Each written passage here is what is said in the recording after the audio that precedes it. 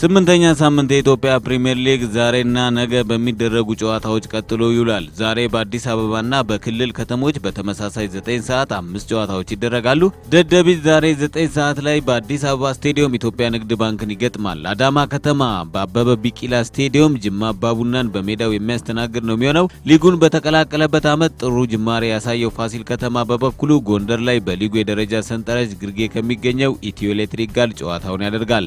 ሲዳማ ቡና ይርጋለም ላይ ሐዋሳ ከተማን የሚያስተናግድበት ጨዋታም የሊጉ መርሃ ግብር አካል ነው። በስምንት ነጥብ ዘጠነኛ ደረጃ ላይ የተቀመጠው ወላይታ ዲቻ በተመሳሳይ ዘጠኝ ሰዓት ወልዲያ ከተማን የሚያስተናግድ ይሆናል። ድሬዳዋ ከተማ ከአርባ ምንጭ ከተማ እንዲሁም መከላከያ ከአዲስ አበባ ከተማ የዛሬ ጨዋታዎች ናቸው።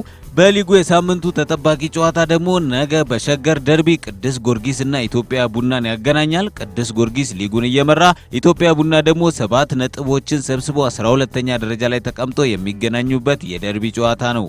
በዚህ ጨዋታ ላይ ተጫዋቾችና አሰልጣኞች አስተያየታቸውን ሰጥተዋል። የቅዱስ ጊዮርጊሱ አጥቂ አዳነ ግርማ እኛ የበላይነታችንን ማሳየት ብቻ ነው የምንፈልገው ሲል አስተያየቱን ሰጥቷል። ስለ ጨዋታው አክሎም ሁላችንም መስከረም ላይ ነው የምንዘጋጀው የተለየ ጨዋታ ብዬ አላስ ስብም በእርግጥ የስፖርት ቤተሰቡ ትልቅ ትኩረት ይሰጠዋል። እኛ ደግሞ ወደ አሸናፊነቱ መጥተናል። ሶስት ጨዋታ ላይ ጥሩ አልነበርንም። ይህን አሸናፊነታችንን ይዘን እንቀጥላለን ብዬ ነው ማስበው። ጥሩ ጨዋታ እንደሚሆን ምኞቴ ነው ሲል ሀሳቡን ገልጿል።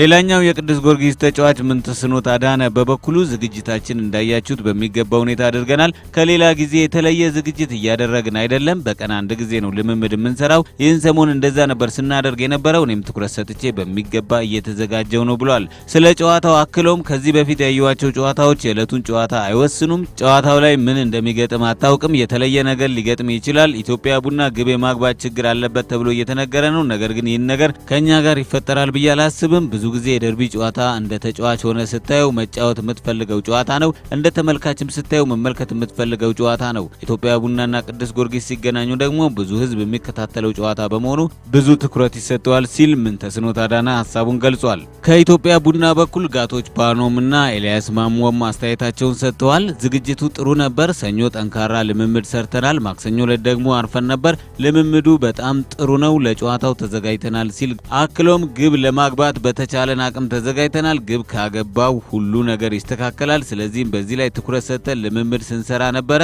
ጎል ለማግባትም በጨዋታው ሞክራለሁ ብሏል። የደርቢ ጨዋታ እንደሚታወቀው ከባድ ነው። የነጥብ ልዩነት ቢኖርም ከባድ ነው። እኛም ተዘጋጅተናል። ለሌላ ነገር ሳይሆን ለማሸነፍ ነው የምንጫወተው። በበኩሌ ለክለቡ የተሻለና ጥሩ እንቅስቃሴ ለማድረግ ነው እቅዴ። ለክለቡ ጥሩ ውጤት ለማምጣት መጣር ነው ፍላጎቴ ሲል አስተያየቱን ሰጥቷል።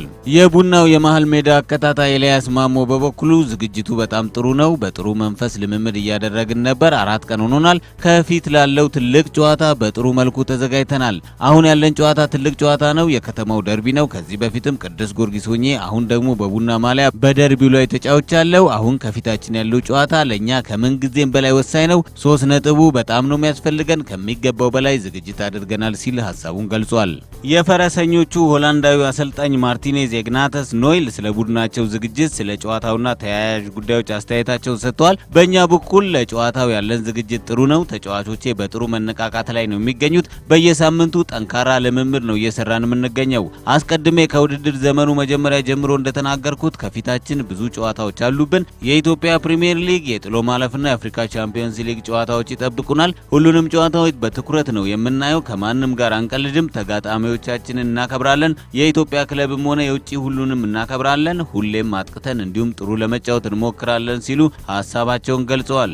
ሰርቢያዊው የቡና ክለብ አሰልጣኝ ኒቦሳ ቪዞቪችም የደርቢውን ጨዋታ በጉጉት እየጠበቁ መሆኑን ተናግረዋል። ይህ የሀገሪቱ ትልቅ ጨዋታ ነው፣ ምክንያቱም እኔ ለሰርቢያ ብሔራዊ ቡድንና ፖርቱዛን ቤልግሬድ በ60ና በ70 ሺህ ሕዝብ ፊት መጫወቴ የትልቅ ጨዋታ ትርጉም እንድረዳ ያደርገኛል። ጨዋታው ለተጫዋቾቹ ጥሩ መነሳሳት ይሆንላቸዋል። ጨዋታውም የመጣው ለእኛ በጥሩ ሰዓት ነው ሲሉ ሀሳባቸውን ገልጸዋል። የኢትዮጵያ ፕሪምየር ሊግ ታላቅ ጨዋታ ኢትዮጵያ ቡና ከቅዱስ ጊዮርጊስ እሁድ በ10 ሰዓት በአዲስ አበባ ስቴዲየም ይከናወናል።